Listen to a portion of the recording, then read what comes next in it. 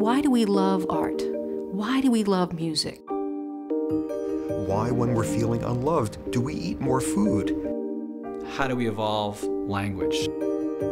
Where did the mind come from? Why do we have a mind?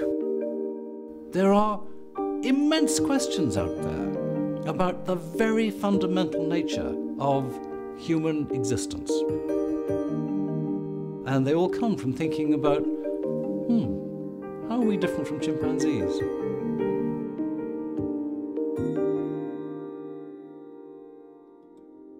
Each chimpanzee is as different from every other as we are. They have very, very clear personalities. There are good mothers and bad mothers in chimp society as in human society. The experience of the child during those early one or two years is really significant in shaping their adult behavior. The chimpanzees have forced people to realize that we are not the only beings on the planet with personalities, minds, and feelings. The picture of human evolution was really quite simple. You went from Australopithecus to Homo erectus to archaic people to modern people. And it was simple, uh, but in retrospect, it was uh, a simplicity born of ignorance. The last 30 years has seen an explosion of new finds, new species, new genera of fossil hominids. There have been many experiments in human evolution. Most of them ended up in extinction. We're the only one that hasn't. Over the course of evolution, we get these big brains. And when you get a really big brain, you can start doing some very abstract stuff. And one of the really abstract things that starts happening when you're a smart, sophisticated primate is you can start getting worried about things that are not for real. You're a normal mammal, somebody is intent on eating you, and you turn on the stress response thing. And what that stress response is designed to do is save your life in the next three minutes. Not till you get to us that you can do stuff like turn on the exact same stress response, not because you're getting attacked by some rival, but because suddenly you're smart enough to realize you're going to die someday, or something incredibly stressful happened in the novel you're reading about some imaginary character. It didn't evolve for that. Look at some diseases of humans who don't deal with psychological stress very well. These are some of the leading psychiatric disorders.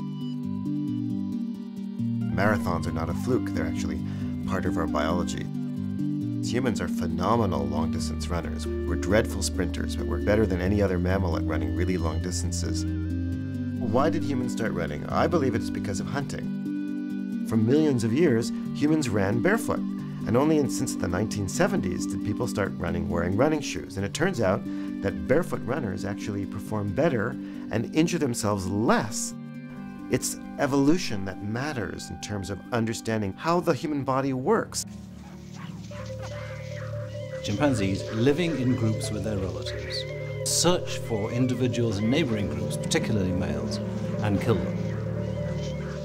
There are only two animals on Earth that do this humans and chimpanzees. What does it mean that it is ourselves and our closest relatives that show these patterns that many of us think as cultural, which is the pattern of war? There's a lot more biology to our behavior than we used to think. Chekhov said, man will be better when you show him what he is like. And I see the point of the sciences of mind and brain informed by evolution as showing us what we're like, showing us the kind of errors that we're prone to in making judgments, showing us the kind of emotions that can cloud our judgment, and therefore empowering us to think around these problems, to develop ways of discounting the parts of our own mind that, that get in the way of greater cooperation, greater wisdom. As we look ahead to the enormous challenges of the future, whether they're to do with climate change or outcoming diseases or the way that people behave in the future, then we need to understand the way that life works at every level. And the way life works is through evolution. There are three crucial sources of information about who we are as a species and how we came to be that way. Studies of primates in the wild, studies of hunter-gatherer peoples, studies of human fossils. All of them are delicate, endangered research operations. None of them is being fully funded by the federal government. In this business, there's a lot happening very quickly. Land's becoming unavailable. Dams are being built up that may flood important paleontological areas. Populations of primates are going extinct. Um, it's critical to get as much work done as soon as possible. We don't question whether public money goes to support libraries or uh, concerts, uh, music, uh, literature, uh, art. We, we don't argue about that. Those are all very profound things that, uh, that nourish the human soul. So does science, and especially human evolution.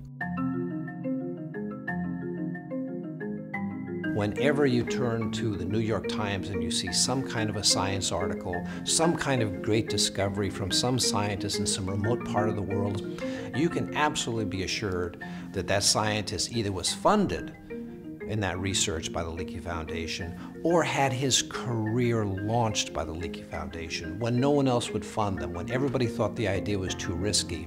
And like venture capital, the greatest rewards come from taking the greatest risk. The Leakey Foundation, it's spectacular because they are providing the foundations of how we have to think about every aspect of our biology and our health and our well-being and all the good stuff, and they're one of the only ones doing it. Without Louis Leakey fighting to get that first money for me to go in 1960, there would be no Jane study of the Gombe chimpanzees. How big an exciting story is it to know where we as a species come from, what we are doing here on this earth? What turned us from an ape into a human? These are things that give meaning to our presence. And it's still a developing story.